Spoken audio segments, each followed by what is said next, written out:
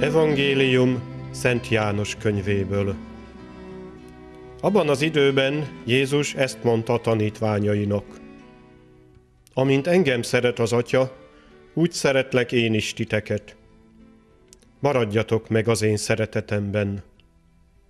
Ha megtartjátok parancsaimat, megmaradtok szeretetemben, ahogy én is megtartottam atyám parancsait, és megmaradok az ő szeretetében.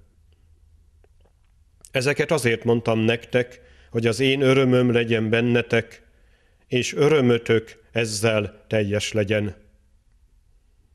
Az az én parancsom, hogy szeressétek egymást, amint én szerettelek titeket.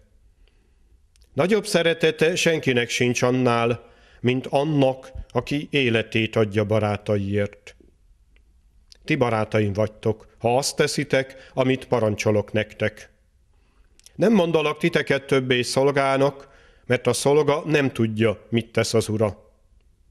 Barátaimnak mondalak benneteket, mert mindazt, amit hallottam atyámtól, tudtulattam nektek.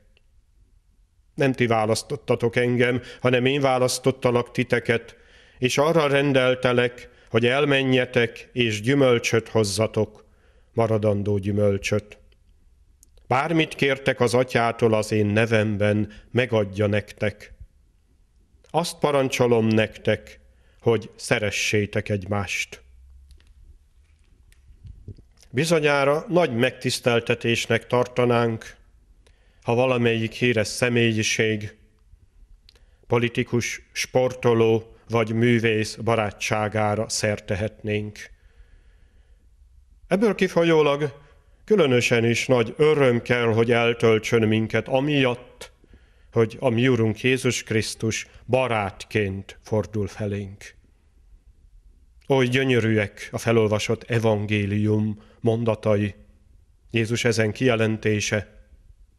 Nem mondalak szolgának többé titeket, hanem barátaimnak, mert a szolga nem tudja, mit tesz az ura. Barátaimnak mondalak benneteket, mert mindazt, amit hallottam az atyától, tudtulattam nektek. Persze fontos tudatosítani, hogy a barátnak megfelelő főnév a görög és az arám nyelvben a szeretni igéből származik. Nem valami felületes jó kapcsolatról, cimboraságról van tehát itt szó, hanem a szeretet legmélyebb kötelékéről. Ilyen értelemben a barátság, az evangéliumi barátság teljes elkötelezettséget kíván. Jézus ezt az elkötelezettséget azzal mutatta meg, hogy életét áldozta értünk. A mi teljes elkötelezettségünk pedig azt kívánja, hogy fenntartás nélkül tartsuk meg Jézus parancsait, illetve azt a szeretetet valósítsuk meg egymás között, amely szeretettel Krisztus, ami legfőbb barátunk, felénk fordul.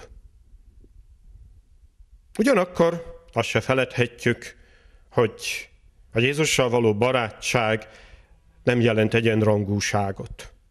Természetes, hogy Jézus megmarad a mi mesterünk és urunk, aki parancsokkal, követelményekkel fordul hozzánk.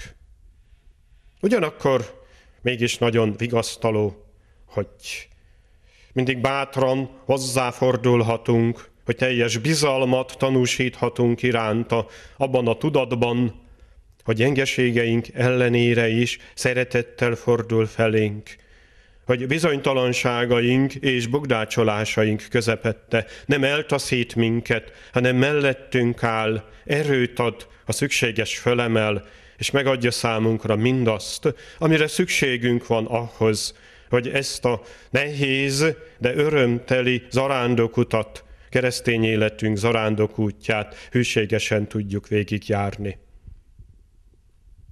Amikor a mai vasárnap hálásan megköszönjük Krisztusnak a barátságát, egyben kérjük az ő kegyelmét és támaszát ahhoz, hogy az ő parancsainak teljesítésével, az ő szeretetének továbbadásával valóban méltókká váljunk erre a nagyszerű valóságra, Krisztusnak, ami Urunknak csodálatos barátságára.